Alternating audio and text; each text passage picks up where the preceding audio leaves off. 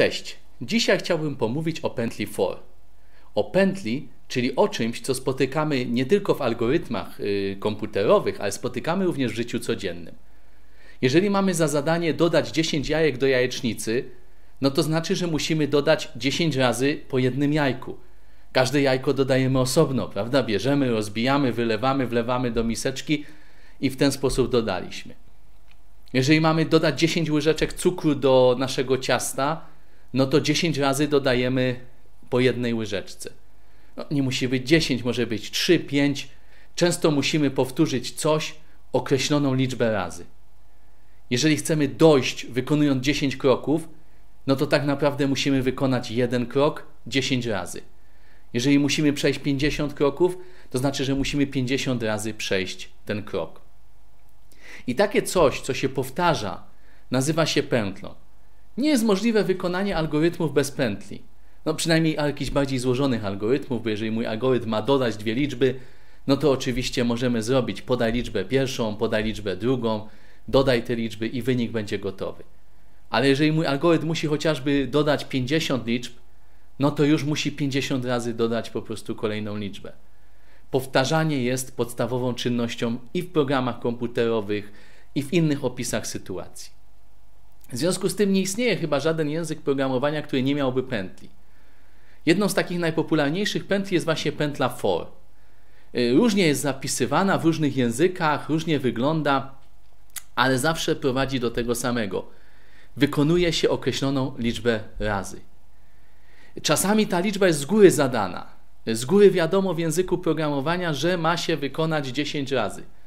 Ja za chwilę pokażę przykłady z tych języków, gdzie jest zastosowana klasyczna pętla for, pętla for, która się wykonuje 10 czy 11 razy, w zależności jak tam sobie to zapiszemy, czy 12 czy 50, nieważne, ale wykonuje się określoną ilość razy.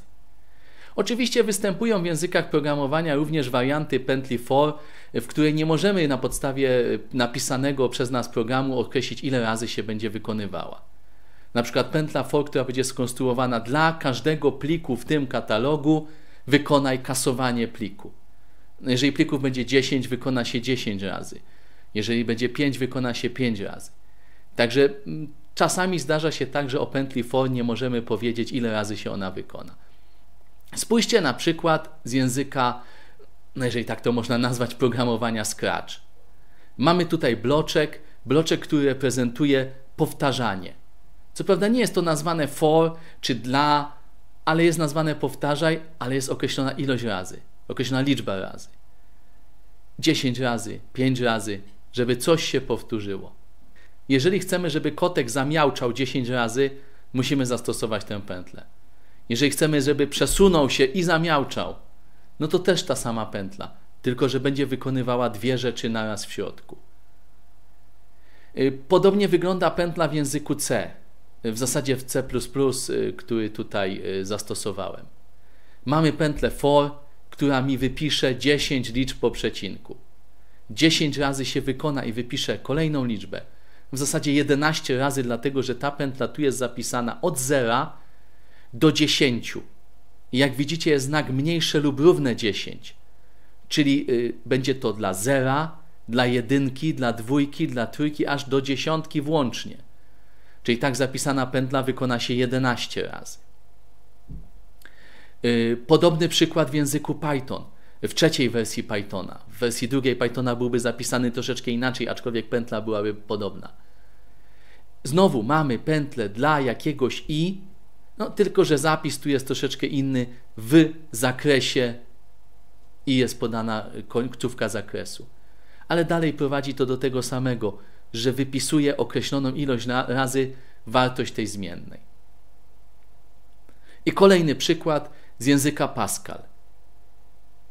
Znowu, troszeczkę inaczej niż było w języku C, troszeczkę inaczej y, niż w Pythonie, aczkolwiek już bliżej do Pythona i mamy coś, co wypisuje nam kolejno liczby na ekranie.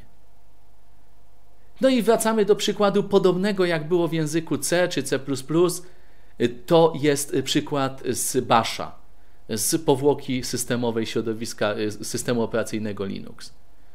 Tutaj znowu bardzo podobny, podobna składnia, z którą się będziemy bardzo często spotykać.